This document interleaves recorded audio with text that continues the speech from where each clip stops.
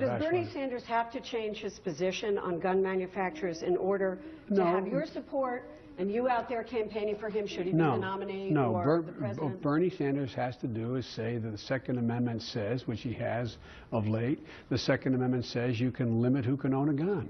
That people who are criminals sh- shouldn't have guns. People who are schizophrenic and have mental illnesses should not own guns. Um, uh, and, and he has said that. So he's okay with you? Yes, he's okay. Look,